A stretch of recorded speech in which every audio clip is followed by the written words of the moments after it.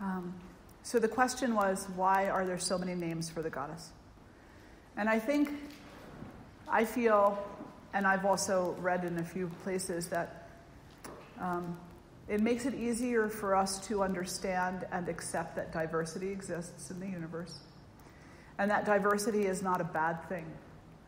And that if we look at the diversity of the goddess, all her names, all her forms, all her essences, and we can fall in love with that, then we can look from a tantric perspective at this world, at this life, recognize its diversity, and fall in love with that too. Not fall in love with that in a way that is attached harmfully, but recognition of the sacred. To recognize that our challenges, the things that come to us easy, the things we really have to work and strive for, the things that we don't really have to try at all, that it's really all the same.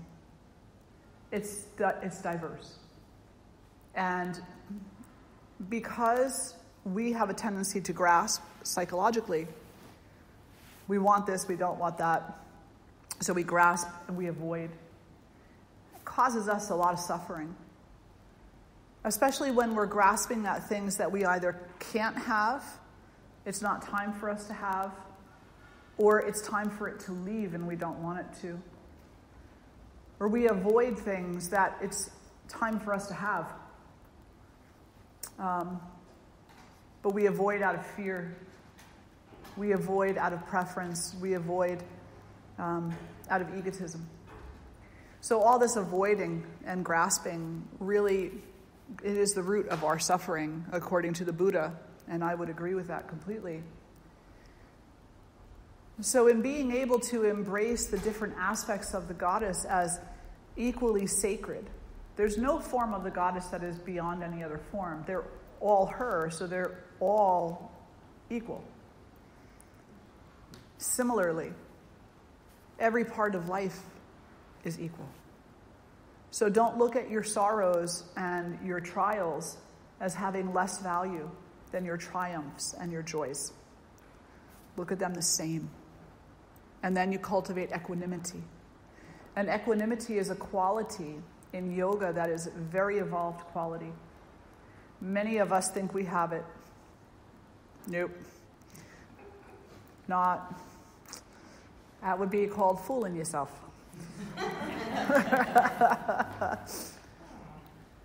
it's, it's, it's, it's such an extremely evolved quality to have true equanimity. Even the Dalai Lama says, and he's very open and honest about it. He's, you know, somebody asked him, he said, Well, you must be over anger. Bet you don't get angry anymore at all. And he was like, That makes me angry. that someone should think that of me, you know? He's, he's saying, you know, of course he reacts to things. He's a human. And in this human form, we are exposed not only to the perfect harmony of the mother, but to the disharmony of the mother as well. She's changeable, flexible, pliable. She yields to everything. And there's three aspects within her sattva, rajas, and tamas. And these are the three qualities that we see in nature everywhere and in our mind, in our body, out there, everywhere. Rajas is passion, it's activity, it's movement, it's the inability to stay still. It's the fidget. It's the changing of the leaves at the peak of the change. It's the falling in love. It's the passion that you feel lustfully. It's the joy of motherhood. It's the growth of the child and the discovery that the child is constantly going through. It's also the anger and the hyperimposition of our attitude. It's the controlling. It's the feeling that we have to win, win, win, win, and that we will go to any extent to do so. That's also rajas. So, this rajasic kind of a, of a movement, which is both beautiful and sometimes not so beautiful, depending on how it's being applied. And then we have tamas. And tamas, or tamasic nature, is when a leaf falls off the tree, after it's changed into that beautiful color, it's fell off the tree and it goes down to the ground where it rots and dies completely and goes back to the earth as dust. And it contributes to something else. But that process of, of no life force, for us, it's like when we wake up on a rainy morning and we feel super lazy because we had too many pancakes. and if you haven't yet, you will. you know? That's very tamasic. That's very lethargic. So tamas is the opposite of rajas. Rajas is activity. Tamas is not at all active. It's not all bad though, because you want a little bit of tamas in your meditation, don't you? You want to be able to stay still. But you don't want so much tamas that you fall asleep. So, and with rajas, you want enough enthusiasm that you're called to go meditate, but you don't want so much enthusiasm that you can't sit still. So, in between these two places, in between the tamas and the rajas, is the sattva. And sattva is balance. The sattva is the harmony. The sattva is the perfect condition for things to happen or not. It's like what the seed needs in order for the seed to sprout. Is the sattvic conditions. Seeds will also sprout under other conditions. But then the life of what comes from the seed will not fulfill its potential. It'll still have potential, and it is a beautiful potential, but it will not have its complete expression and it will therefore have to repeat. Karma. Okay. So these three qualities of nature exist within the goddess. And they're always fluctuating and changing. Just look outside. It's raining harder now. Maybe the sun will come out in five minutes. Maybe not. Maybe. So, can we be okay with this? Can we recognize the sacredness in this fluctuation, in this change? And can we recognize it as an expression of the goddess because it embodies the same qualities that the goddess embodies? So the rain is the goddess. The change of seasons, that is the goddess. The storm is the goddess. The calm after the storm is the goddess. The falling in love is the goddess. The falling out of love is the goddess. The experience is the goddess. It's her energy coming forward through Raja Satwan Tamas within our experience, our body, our mind, our intentions.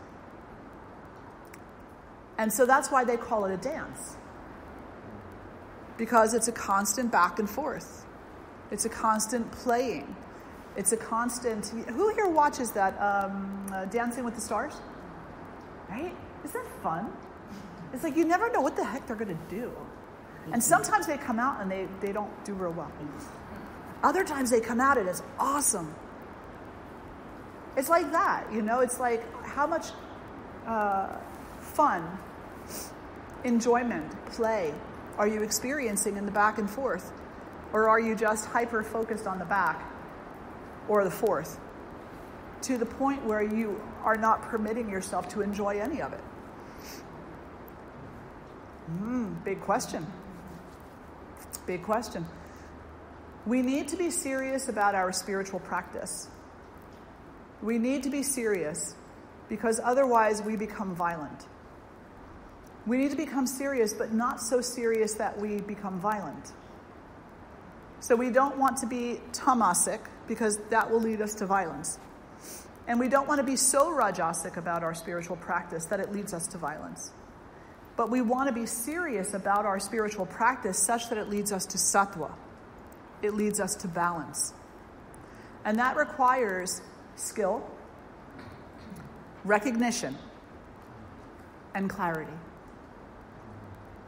And a certain kind of courage to stand up and not sit back down again.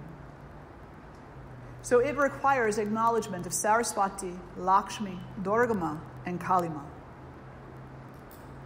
It requires us to acquire the skill necessary. So, whatever your spiritual practice is, if it's a meditator, meditate.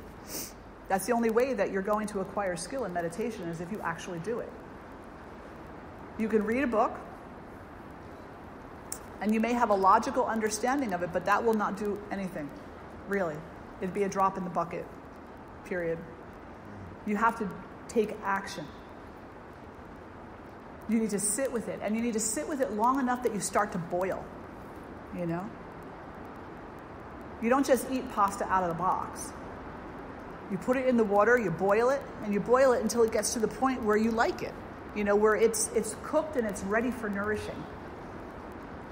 Well, meditation is the same way. You have to sit with it until you start kind of boiling, until you've been cooked. And then you are ripe for the nourishing then you are ripe for the nourishing. Prior to that, you're raw.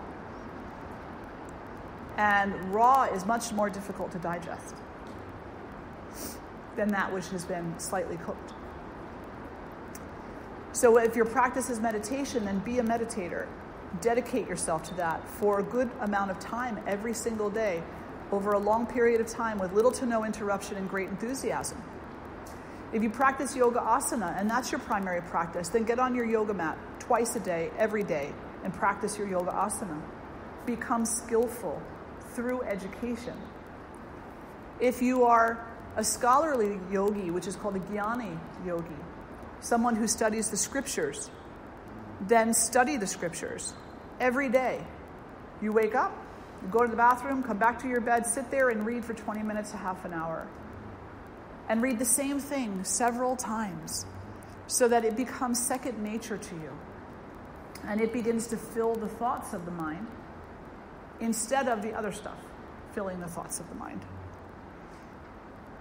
Whatever your spiritual practice is, if it's service, then get out into the world and start serving.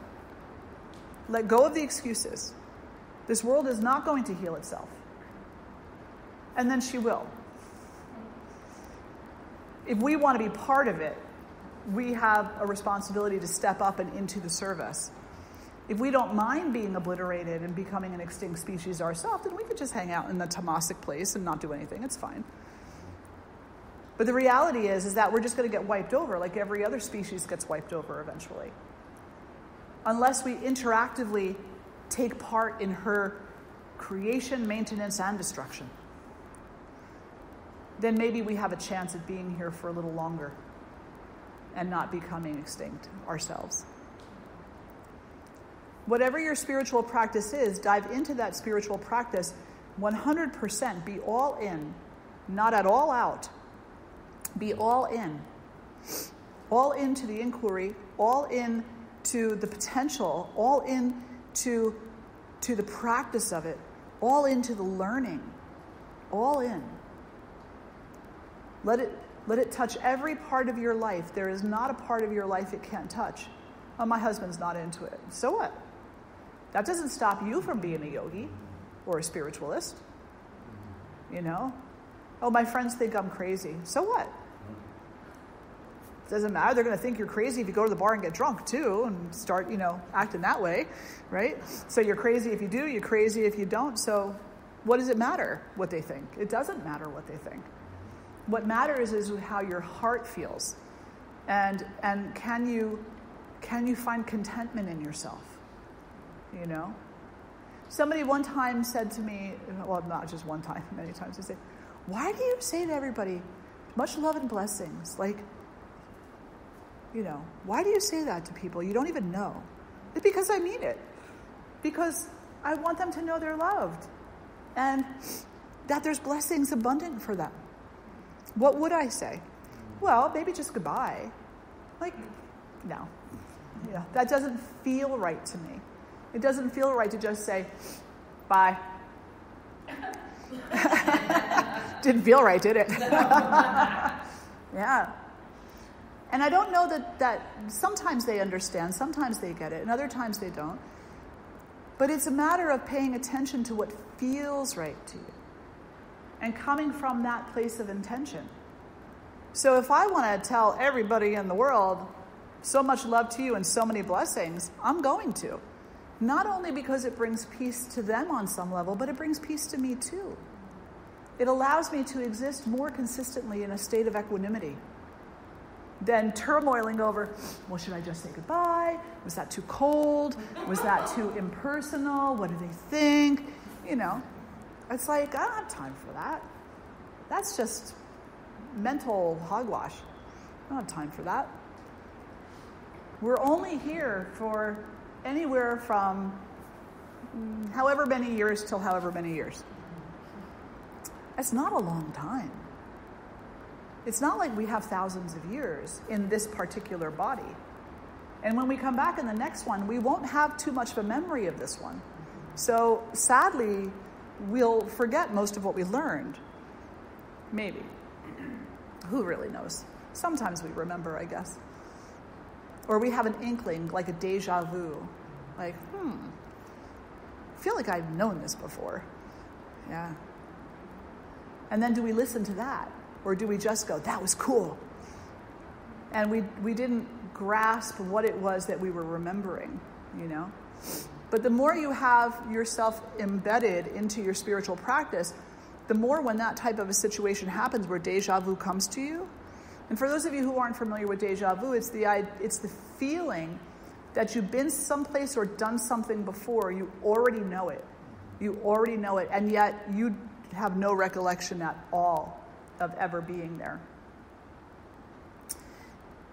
The more embedded we are in our spiritual practice, the easier it becomes to recognize that kind of an experience for exactly what it is. Oh, I'm supposed to remember this. Okay, I'll pay attention. Thank you. Not, that was cool. What's next? That's why when they say in meditation, when you see colors and you see flowers and eyes and symbols, you don't become too engrossed in those. They're there to remind you of something. Be reminded of that. And then go there. Be with whatever it is that it's reminding you of your sacred self, your inner self, your, your inherent goodness, the vastness of the universe, you know. So these three, Rajas, Sattva, and Tamas, they are aspects of the goddess, and they are constantly friction with one another, playing with one another. And that comes through our life experience. Everything we experience in this life is the interaction of these three qualities. And then we have this really amazing, beautiful thing called free will. So we walk through this world, which is the expression of the God and the goddess, the play of the God and the goddess, um, completely out of our control. We can't control any of this, even if we think we can. We can manipulate it a little bit, but in the end, you know. But the one thing we do have is free will. And free will dictates what I'm going to do, no matter what comes to me. So it starts raining. I wake up a little lazy. Oh, today's a good day. Pull the covers over the head.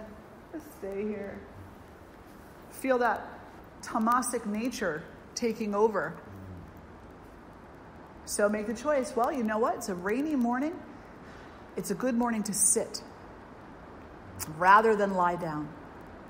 So I'm going to get myself up, make the choice to meet this day right where it is, get onto my meditation cushion, and take this opportunity. The goddess brought this weather to me, not so I could fall into that place of tamas, but so that I could sit in the space of self realization. Nice bright sunny day comes along, the sun is out, it's energetic, and you're like, oh, I'm gonna go surfing and boating and down to the amusement park and, and go, go, go. Very tamas. I mean, rajas. Very rajasic, very um, active. Well, the goddess brought you that sunny day. So I'm going to start my day with this wonderful energy that she's giving me. I'm going to get on my yoga mat and I'm going to practice twice as long as I usually do. And then when I'm done, if I still wish to go somewhere, I'll go mindfully. So, whatever it is that comes to us, comes to us for our betterment, not for our detriment. A storm comes and cleans your house out. Yes, there's attachment there, and it's very sad when we lose the things that we, that we care about. But if you look at the entirety of the picture, you're being cleared out for reasons beyond understanding right now. But that will become obvious when the time is right. And it is the same thing with people. People moving in and out of your life, whether it's because they're moving away or relationships ending or people dying, people being born, they have their work to do on their path. They're not here to entertain us. You're not here to entertain others. The honoring of another human being is to say, You've arrived, welcome. You're departing. So much love and so many blessings. It's been my honor. No matter what that person brought to you. So important. Yes, grief. I'm no stranger to grief. I miss my husband every day, every day. But I also recognize that this portion of his journey was complete. And I'm just so grateful that he spent it with me and that we had that time together. And we were able to experience together what we experienced together. And because I understand that, it makes it not easier, but it makes it hmm, more understandable. Just more understandable. That if he were here now, it would be like trying to sprout that seed before its time. It's not what was meant to be. Yeah. But we're constantly in our mind and in our emotions tossed around by these gunas, as they're called, rajas, sattva, and tamas.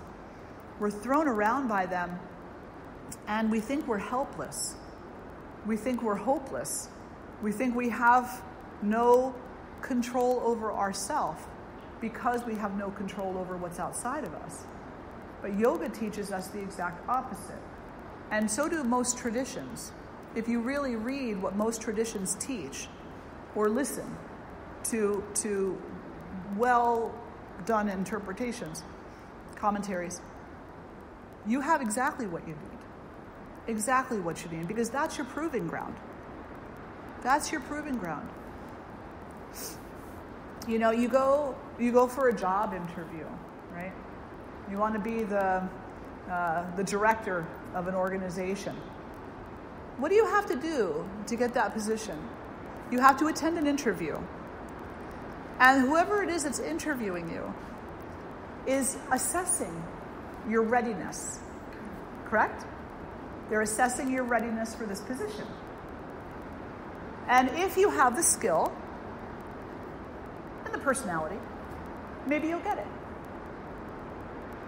Your spiritual path is not much different except that the person who's interviewing you is yourself, your higher self. And you've stepped up and said, I'd like to be interviewed for enlightenment, please. I'd like to be interviewed for the position of awakening. and your higher self says, Have you sat and meditated? Have you gotten on your mat for twice as long as you usually do? Have you accepted the storm and the sunshine? Or are you still tossed about like a hopeless individual, not knowing your own strength, your own resiliency, your own sacredness, your own power? And if the answer is no, you haven't acquired the skills yet, then your inner self says, continue trying. Step it up. And this is where Durga Ma, Kali Ma come in and they say, step it up. And as Laura said, for the retreat attendees who were here Friday night, she would go over here for shiny thing, and the goddess is like, go this way. and sometimes it's a rather abrupt turning, you know? And she's like, but I want to go over there. And the goddess is like, no, go this way. Similarly, the rain will keep coming, and it will keep downpouring onto every dream and every intention until you accept it. And then it will continue downpouring. But your relationship to it will be different, and you'll see the beauty and the sacredness in it instead of the, the treachery and the horribleness. Horrible is something that's human. There's no such thing as horrible, it's a human construct. Actually, everything is a human construct. If we're really going to be honest about it, love is a human construct, hate is a human construct, treachery is a human construct.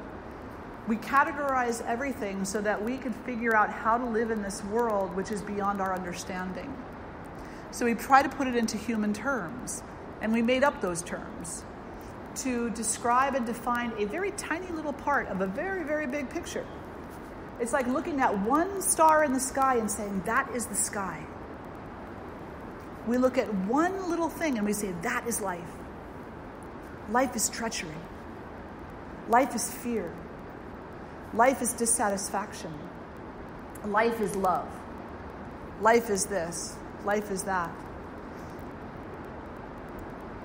But if we really want to know what life is, we have to just look at life. And maybe on some level, put away the less useful descriptions. And focus on, because we're human, we have to focus on something until we don't. Focus on that which brings you closer to balance, that which brings you closer to equanimity, and that which takes you further from harm and violence. Because harm and violence keep us in a state of hating change, resisting change, grasping at everything. Violence is really, you know, you know, the difference between the storm and the human is that the human means it. Right? Like, people don't act violently unless that's what they intend to do. You know, they see somebody, they're like, I'm going to hurt you. And so they do. And, and then it becomes really complicated because that same person may be walking around saying, I love everybody. I love everybody. I'm going to hurt that person. It's very manipulative. And it's very much on purpose, targeting, right? The storm that's out there right now, what is it targeting?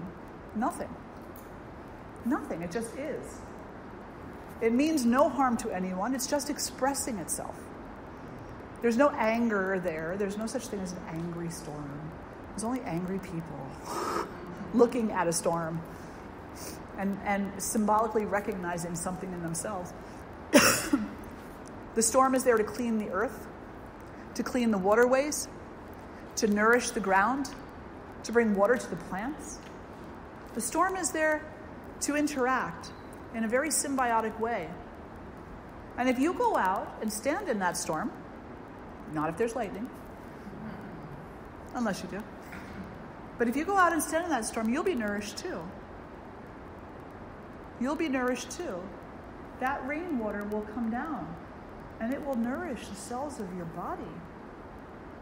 You ever go out in the rainstorm and come in and your hair is so soft, your skin is so soft, and you feel so vibrant? But here's what happens. You think, you know, I remember when I was a kid and I used to go out and just stand in the rainstorm and, and it felt so good. Oh, but I can't go now, I'll get all wet. It's like the human mind is just so ridiculous sometimes. It's like, go get wet. I was doing a talk one time at the uh, Lakehurst base, and I was working with military families with uh, partners who were coming back from being deployed. And so they were having this huge presentation of awards, and they asked me to speak. And we're in this huge, you know, space, which is mostly metal, and it starts pouring. And you can hear that. Boom, boom, boom, boom, boom. And, And it's coming toward the end of this event, and everybody's getting ready to leave. And you can feel the tension in the room mounting as people are getting ready to stand in line by the door and run as fast as they can to their car. I wasn't, I was not different. I was there with a student of mine named Amanda, and we're in line, you know, and it's like thunder, and it's just absolutely stunning, stunning storm. Had I been anyplace else, you know, I just would have sat and watched it. But here I am, part of this kind of, you know, mob mentality. And Amanda's like, okay, you ready? We're going to run. We get to the door, and the guy opens the door, and we step outside, and Amanda runs. And I just stopped. and she turns around, she's like, come on. You're wet anyway. just stop and enjoy it. And so we walked very slowly across the parking lot, got absolutely saturated, but it was beautiful, you know, because we were going to get wet anyway. You can't dodge the raindrops, it's just not possible. But we try to dodge the raindrops. And so the goddess sends us some more. She sends us what we need and as much of it as we need until we come into the skill of knowing that we can't dodge the raindrops. And we can't dodge the coming and the going. And we can't dodge the change. The only thing, excuse me, the only thing that we can do is have a degree of control over our reactions and our responses so that our responses are more in line with recognition of the sacred, recognition of the higher self, recognition of the existence of sorrow, suffering, recognition of the potential of healing, and the intention to support that healing rather than supporting the suffering. So, your free will is important. It's so important. And the things that come to us in life that, that we think, well, I, I could be all of that if those people would just leave me alone. Those people are raindrops. You're not going to get away from them. So stop trying to. And instead, stand on your own two feet as the person that you are. And don't let them sway. Your intention, who you know yourself to be. And don't, don't give in to them either, either. Because you don't have to. We justify entirely too much. You know? Someone comes along and they say, Why'd you dye your hair? Oh, well, da da da da da da da da da da da da da da da da And when I was 13, and we go through this justification. Why do you wear white? Like it's simple. you know, that's my that's my new answer. It's simple. It's simple. And they're like, oh. And then they walk away perplexed. the mailman, you know, delivers your mail and he has something he has to hand to you to get a signature. And we're so compelled to apologize and then to justify the apology. Like it's the silliest little things. Every single thing that comes our way, we feel like we have to justify, apologize. And the reality is, we don't. You don't have to justify who you are, and you don't have to apologize for who you are. The mailman is meant to deliver your mail. He's meant to walk up those stairs and ask you for a signature. That's what he is meant to do. You don't have to apologize to him for it. The person at the grocery store is meant to bag your groceries. That's what they're there to do. Let them do their job. And instead of saying, I'm sorry, or feeling bad for them, say, Oh my gosh, I'm so grateful for you. Thank you so much. You have no idea how much your presence in this moment supports my day. I hope that I'm supporting yours as well. Isn't that better than justifying? When we come into this place of gratitude, when we come into this place of recognition of the sacred, recognizing the mother, recognizing the Father, just recognizing all of it. We come to a place where we begin to know ourselves. And that's a pretty cool person to know. And the more that we know ourselves, the easier it becomes to continue the inquiry. Then suddenly we want to get on the yoga mat more often, or in the Tai Chi class, or in the meditation cushion, whatever it happens to be. Suddenly we really want to. You know, it's like, oh, this is so neat. I get to meet myself again. Wonder what I'm like today. Wonder what part of the onion is going to peel itself back. And suddenly, you know, you're called to cry about something. You know, maybe it's a, a, welling up of grief or sorrow of some sort. And suddenly you're just like, okay, go ahead. Do what you need to do. Instead of kicking yourself. Oh, I'm crying. I must be weak. It's like, no, I'm crying. I'm expressing. Those tears are the same as the raindrops. And they're all part of the goddess, every one of them. Denying any part of yourself is denying the goddess and the god. Denying any part of anyone else is denying it, denying the goddess and the god. Denying any part of the world is denying that. Because in the yoga teachings, everything, everything is that. Not just the light, but also the shadow. Not just the day, but also the night. Not just the good part of you, but also the part you don't like. Not just the butterfly, but also the bee. Not just the, you know, the, the beautiful horses and llamas and cats and dogs, but also the spider the creepy crawlies. Right? They're also, there's nothing that isn't her. The earthquake is her, the rainstorm is her, the sunshine is her, the calm sea is her. It's all her.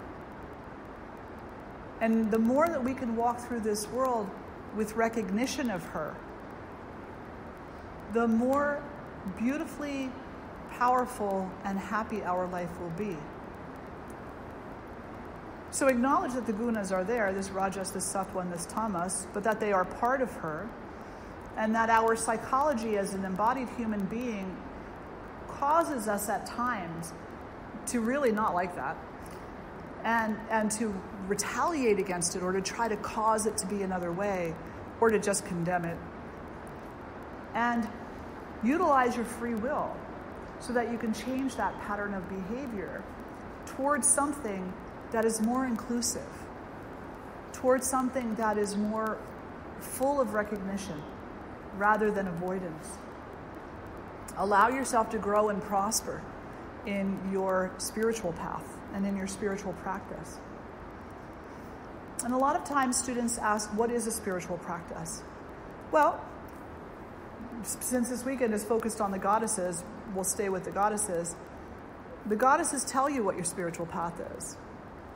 They not only tell you the qualities that, that they represent, that are present in the world and in you, but they tell you that the cultivation of those qualities is your spiritual path, clarity. Whatever you need to do to become a clearer person, that's your spiritual path. Courage. Whatever you need to do to become a more courageous person, that's your spiritual path, is to cultivate courageousness. Peace. Cultivating peace is your spiritual path. And everything outside of that is a tool. So the yoga asana is a tool. Meditation, you know, sitting in concentration is a tool. It's also, you know, the it's also the name of what the outcome is. But the sitting down on a cushion, that's a tool. It's like going to school, opening up a book and reading to learn your history. You sit on your meditation cushion so that you can open up your heart and learn who you really are. So they're telling you what the path is, what the quality is that you are pursuing, and what the outcome is. So the quality you are pursuing is clarity. You're going to pursue that quality by undertaking techniques that improve your clarity, and at the outcome, you're going to be clear. Compassion? Well, your path is compassion. And Your path is going to be filled with techniques that cultivate compassion. And in the end, what are you going to get for it? You're going to become compassionate.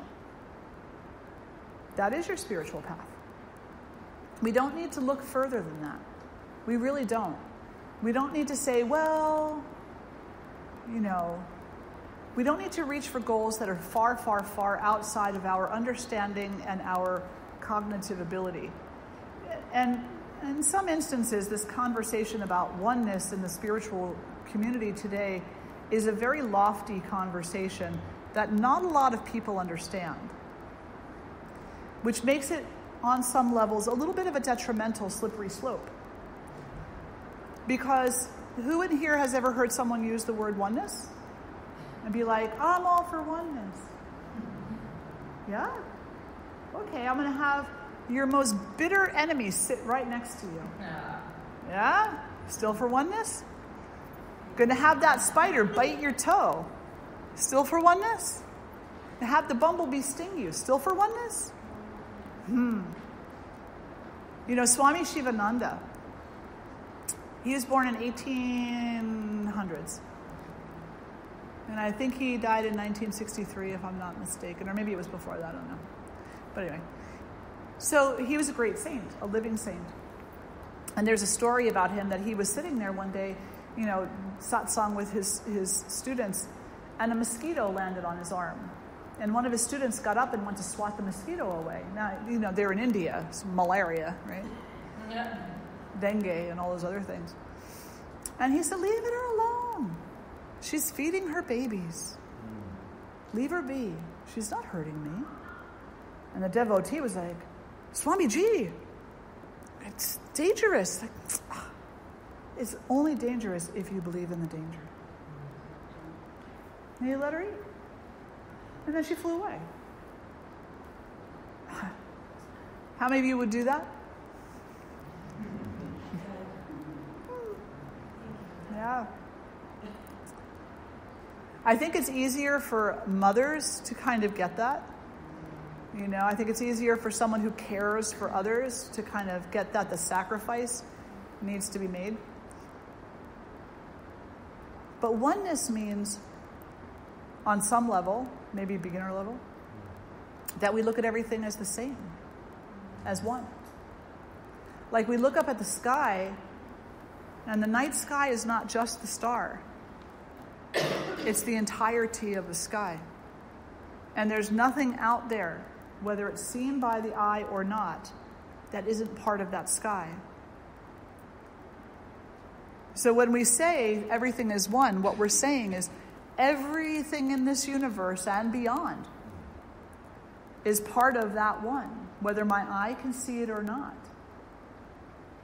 And there's nothing that's excluded. It doesn't mean you have to throw your arms around people and be like, I love you, man. You don't have to do that. But, you, but if you're practicing oneness, you can't exclude them either. So you need to have a tactful way of negotiating your emotions, your feelings, honoring yourself, and also honoring them for the potential that they carry to discover their inherent goodness, the same as you're working in your life to discover yours. And a spiritual practice makes that so much easier. So much easier a consistent spiritual practice over a long period of time, little to no interruption, and great enthusiasm.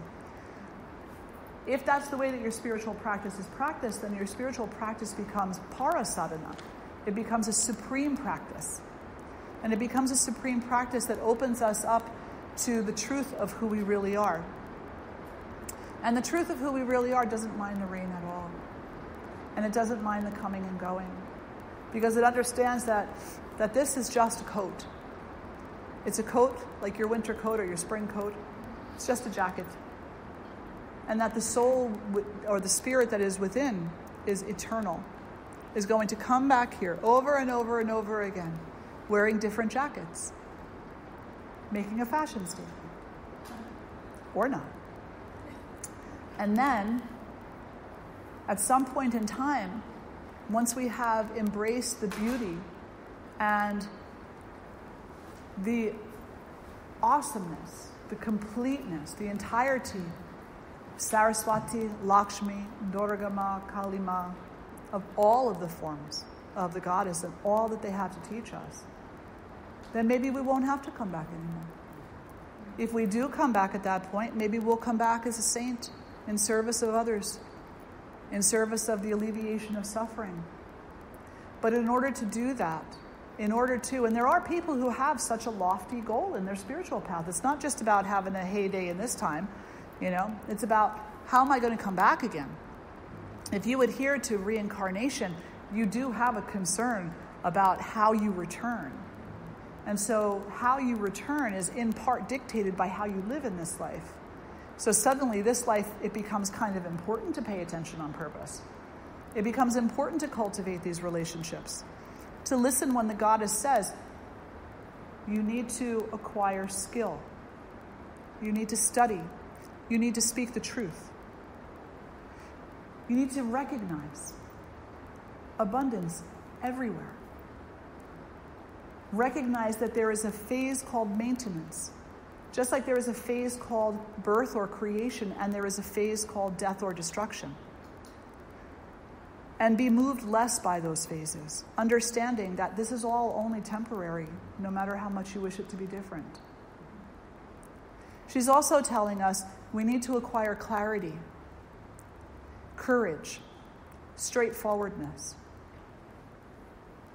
And that we need to sway less. We need to yield, but we need to sway less in our intention. If you have an intention, all these qualities that the Divine Mother teaches us teach us how to stand into our intention fully, according to our own principles and our own understanding, which is typically, for most of us, grounded in a scripture, a teaching of some sort. And so it's important that we don't abandon that. If you're Catholic, read the Bible. If you're a Muslim, read the Quran. If you're Baha'i, read the Certitudes. If you're not, read all those and more. If you're a Hindu or a yogi, read the Bhagavad Gita, the Vedas, the Upanishads. And if you're not a yogi or a Hindu, read them anyway the more that you read the scriptures, the more you'll get a picture of your potential. Because that's what every scripture tells you. It's not just a bunch of really great stories put together to amuse us. That's what people say. They call them parables and they say, oh, this story is so great, but I could never do that. No, the, the scriptures, no matter what tradition they are, they're meant to be read as if that were you. That's you in that story. Arjuna in the Bhagavad Gita is you. Krishna is your potential. Arjuna is who you are now.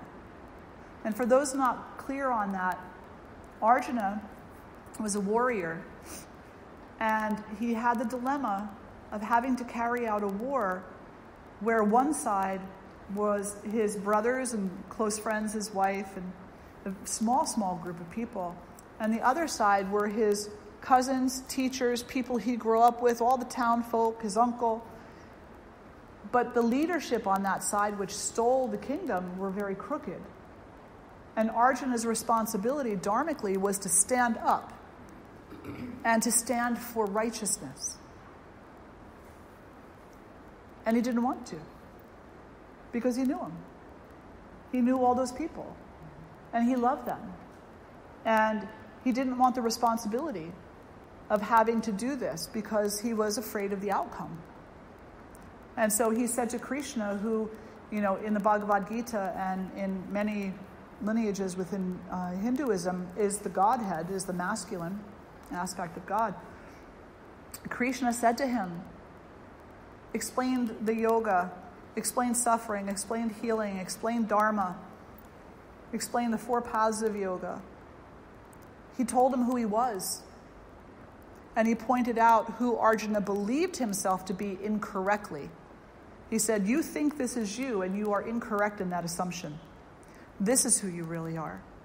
And he, he spends 18 chapters explaining to him who Arjuna really is. Hopefully that made sense. So the scriptures that we read are not just there for entertainment, they actually paint a picture of our potential. And they paint a picture of the path that we should follow in order to reach that potential. And when we talk about the goddess, and when we talk about the god, and when we talk about yoga, and we talk about chakras, we're not just talking about like exotic ideas from some faraway land called India. Going there with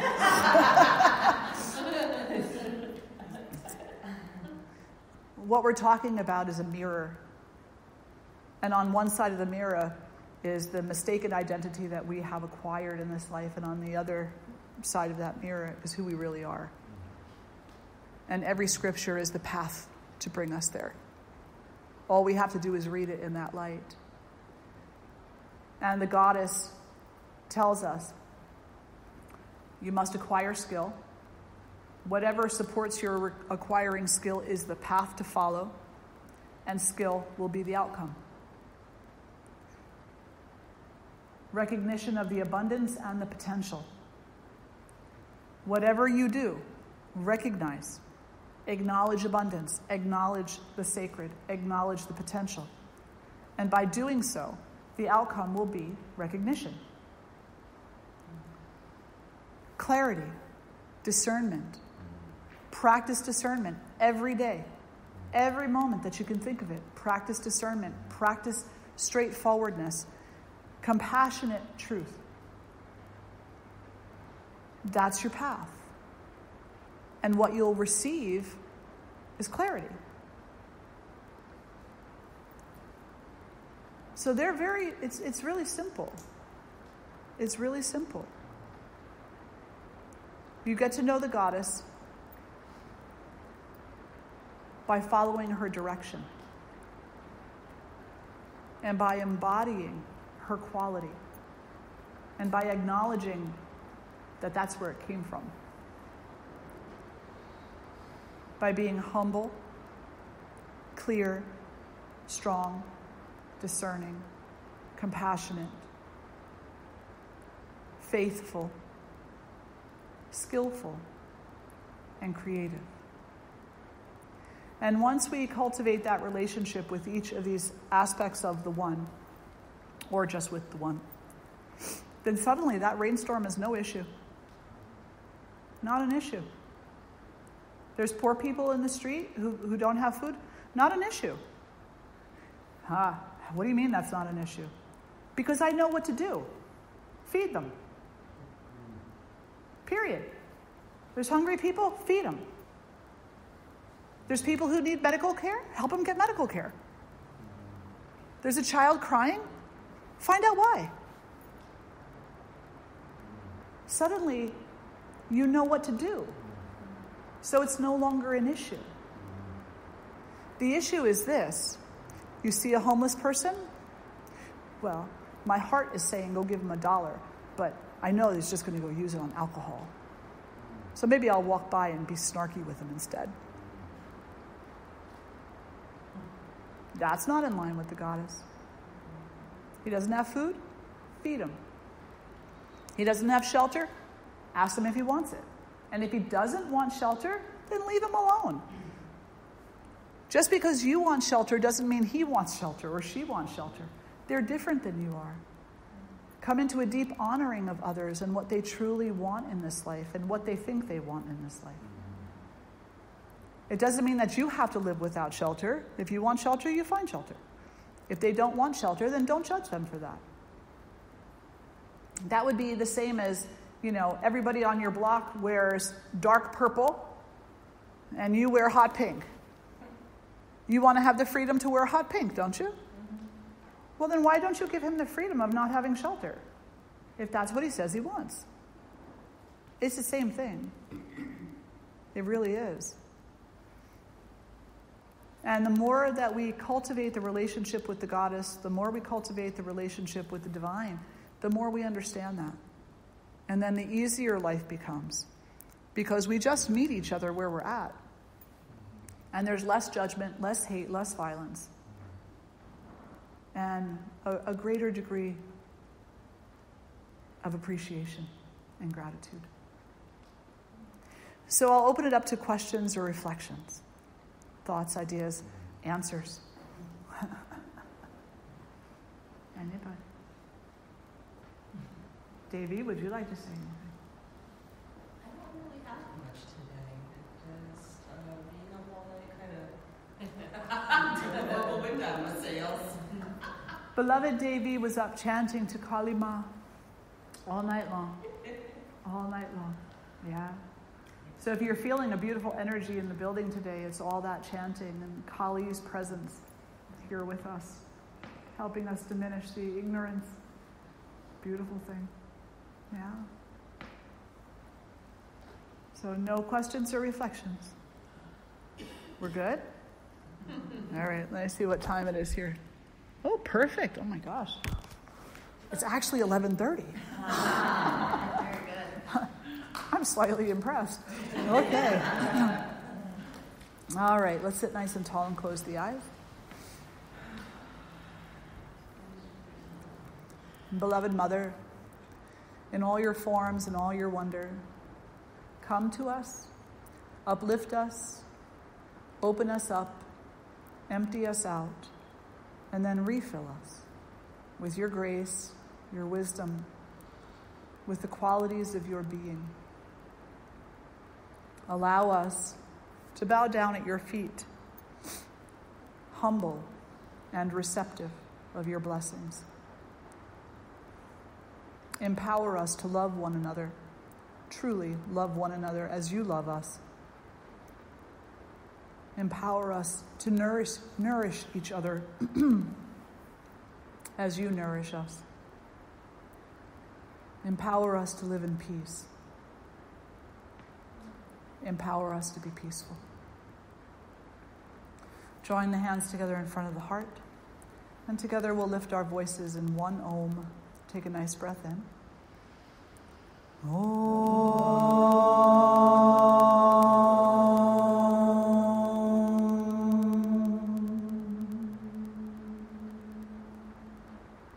And bowing the head toward the heart, acknowledging all that is. Enjoy and drawing the face center. Thank you so much for being here today. So good to see and gather with each one of you.